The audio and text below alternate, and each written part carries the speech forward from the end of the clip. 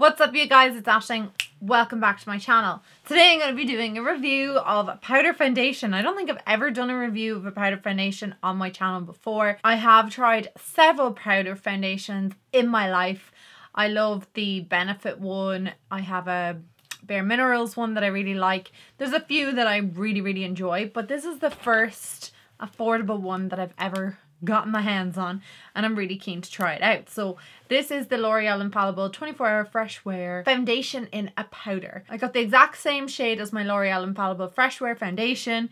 This comes in 16 shades in the US in Ireland, I think there's like six shades, maybe eight. I'm to read a couple of claims about this foundation, then we're to pop it on our face. We're to do a wear test and see how we get on. So yeah, in Ireland and the UK, we have six shades. Woo! Let's go crazy with the shades. So crappy. I am 140 Golden Beige. I am 140 Golden Beige in my liquid foundation. This foundation the liquid one is one of my all-time favorites. I've spoken about it before. I will link down below my full review just if you guys are curious. Obviously you guys are probably recognizing the packaging from tiktok. It's like blown up over there. I think that's why it's so difficult to get your hands on. But also it wasn't available in ireland. I think it came out in the us in december. Correct me if i'm wrong in Ireland. It's still not available at our drugstore counters, but you can order it like I did. In the UK, I know it's available from Boots and also Boohoo have it too, which is really random, but it's extremely expensive on Boohoo. I think it was like 20 euro and I think I paid maybe 14 for this maybe 15 for some reason they've whacked up the price of this it's probably because it is TikTok famous. So anyway, what does it say about it on the website? Want lasting coverage with a matte finish? A one-step foundation in a light powder that gives you lasting coverage of a liquid foundation yet mattifies like a powder. For flawless skin that looks fresh hour after hour, water, sweat and heat resistant. We will test the water resistant at the end of the day. You guys have seen me do that before. I just splash some water on my face. We'll see how we get on. A long wear powder that stays put all day, up to 24 hour wear. Doesn't give me a whole lot of claims. It does say that it is sweat proof, waterproof resistant. Now I'm to say straight off the bat, I have oily skin. I guess if you're looking to try this out, you possibly have oily skin too. I do normally say that like powder foundations are definitely more suitable to oily skin. But if you have dry skin, what do you think of it? Do you think it works? Leave it down in the comment section below because it will help other people maybe who stumble upon this video who have dry skin and maybe want to try. But I'm going to give it a go today and we're going to see how we get on. Now I'm starting my review super late today because I'm only on my lunch break. Well, I was going to say 12 a.m. No, it's not. It's 12 p.m. So I may not be able to try this out for 12 hours but I'll get as close to midnight as possible. I am now in my eighth month of pregnancy, so I am a little bit more tired these days. So just bear with me if I don't keep up till the full 12 hours, but we will give this as best a go as possible. The first thing I will say is I have filled in around my eyebrows and I've popped concealer on like a little blemish that I have here and just around my nose and then a little bit on my chin. I'm going to pop a little bit of concealer underneath my eyes. Any cream products or liquid products now is the time to apply them because you can't apply them on top of powder. It just, they don't go. It just mixes into a cake. It's not cute. Apply the L'Oreal Infallible Concealer. I'm done with all my concealing and now I'm going to pop this on and I'm going to take it on a flat top brush. Normally I would do like half with a sponge, half with a brush. I can't do that today because a sponge is going to be wet. I don't want to pop it into this powder product obviously. On the bottom here you get the sponge and a little mirror we're not going to use that because I don't really like those type of sponges. So I'm just going to pop my brush into this and pick up some of the product. Just coat my brush with it.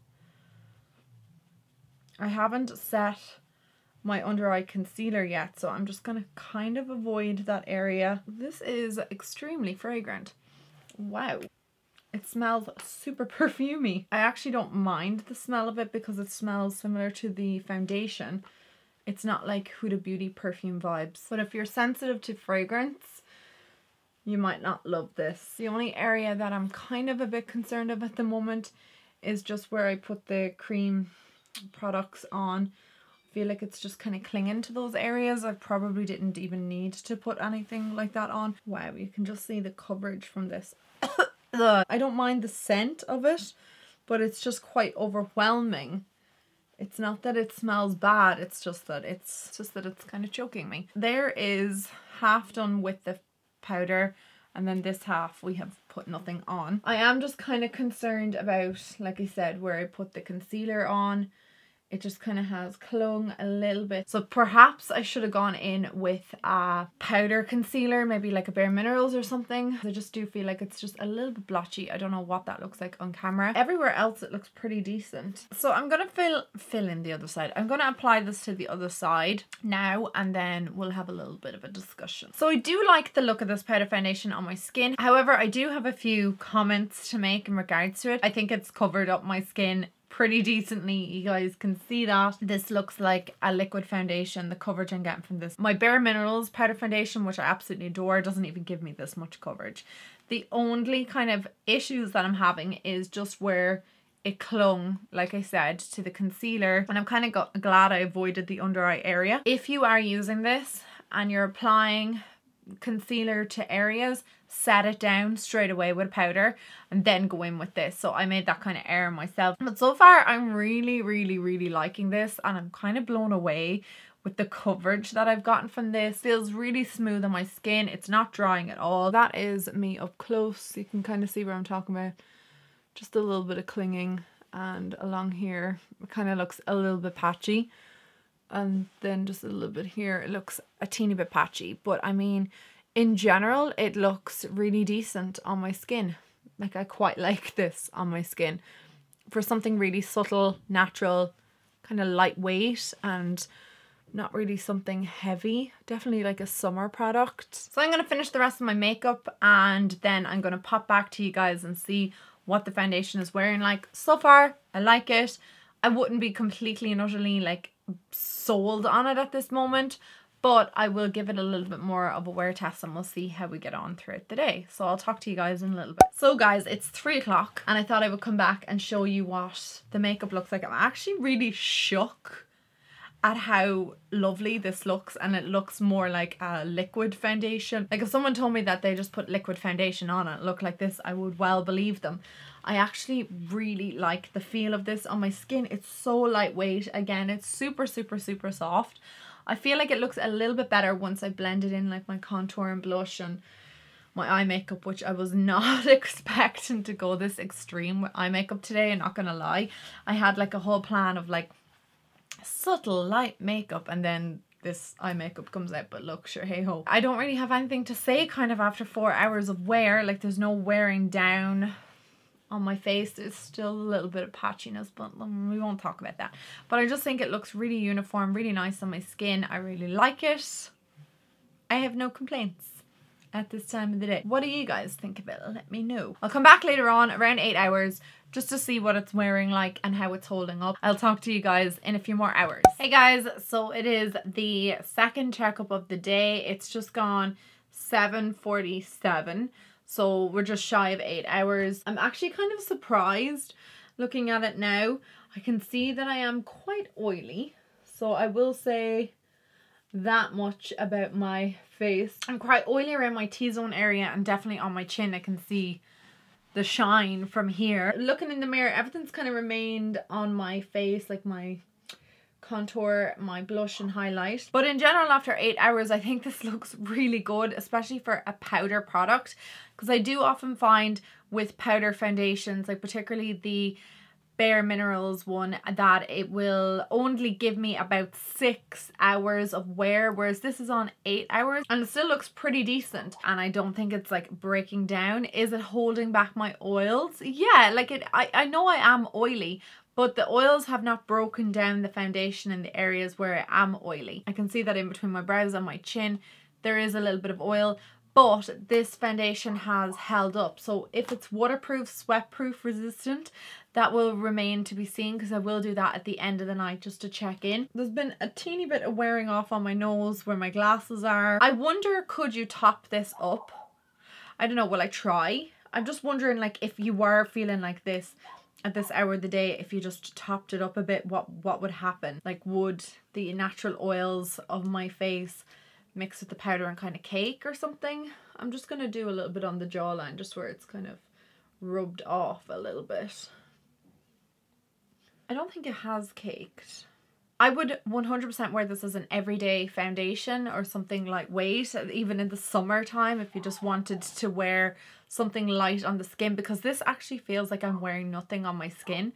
Like it doesn't feel heavy or cakey or anything like that on my skin. But I think it looks generally really, really good on my skin. It's covered up any imperfections or kind of blemishes on my skin, which is very welcomed. I feel like this can be used on like quick days when you just want like a quick application or you don't want to spend a long time on doing your base makeup. But yeah up close I think it looks good. Anyway guys I'm gonna check in with you in another few hours see what this is looking like. So far I'm pretty pleased. What's up guys? It is the end of the night actually to be exact. It is 12:48 way past my bedtime. I actually cannot believe that I lasted this long. I actually just can't wait to take these eyelashes off and take this makeup off and just go asleep. Then I would do my final check-in with you guys just to show you what the foundation is looking like. Okay, I'm noticing a huge difference obviously the last time I did a check-in was 8 and the 8 hour mark and this is 4 hours later so we are wearing the foundation like I said for 12 hours. It's not looking really bad like after 12 hours of wear with a powder foundation it doesn't look half bad on my face at all. I definitely think around the 8 hour mark is max wear for this foundation for me personally. It's not broken down by my oils or anything like that but it's just kind of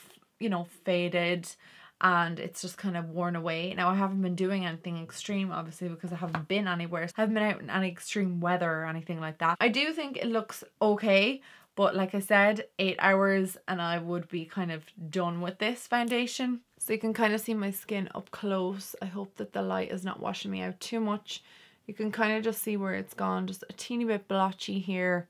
Definitely blotchy on my chin, like around here and a little bit of wearing away and blotchiness just on this side. Not so much on my forehead. It has sank in just a little bit to one of my fine lines that's there, which always kind of has everything sinking into it. There is no kind of like sinking into any pores and I've no primer or anything on my skin today if I didn't mention that already. It is just kind of like naturally wearing down on my skin but it doesn't look horrendous. It just doesn't look amazing. It has worn off around my nose as well which kind of happened in my last check-in. I do have a few pros and cons of this foundation. Obviously the major pro of this is the convenience of this. It's not messy, it's just powder, pop it on your brush and away you go. I love the coverage from it. I do have cons. The first one being the price, which is kind of an unusual for me because I never really kind of give out about prices of drugstore products. But I feel like 17 to 20 euro is pretty steep. Liquid foundation product of this costs in Ireland about 11 euro. So it's just a little bit more pricey. And I don't know if that's anything to do with just it being viral on TikTok at the moment or what the story is, but I just was a little bit kind of blown away by the price range for a drugstore product.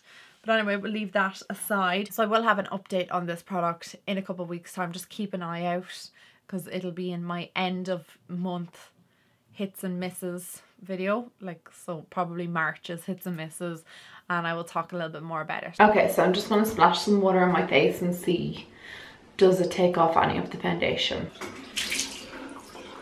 Okay, I don't think my face can get any more soaked than what it already is. It's like dripping. Yeah, like the droplets haven't really washed it off, but there is just a little bit of powder coming off on my fingertips but realistically you ain't gonna get your face this soaked so i would say that this is definitely sweat proof one thing i will say is if you are caught in the rain at least you know your foundation's not really to like drip off down your face because i gave this a good soaking and it still remained intact. I avoided my eyes just in case you're wondering why they're not like streaming down my face. So guys, I hope you enjoyed today's video. I hope you enjoyed the little splash test as well. And you guys can let me know if you've tried this out, what you think of it. Again, I personally think this is more targeted at oily skin, but I do want to hear your feedback if you've dry skin on what you thought of it. Thanks so much for watching and tuning in. I am so ready to hit the hay. I love you guys so much and I'll talk to you very soon. Mwah. Bye guys.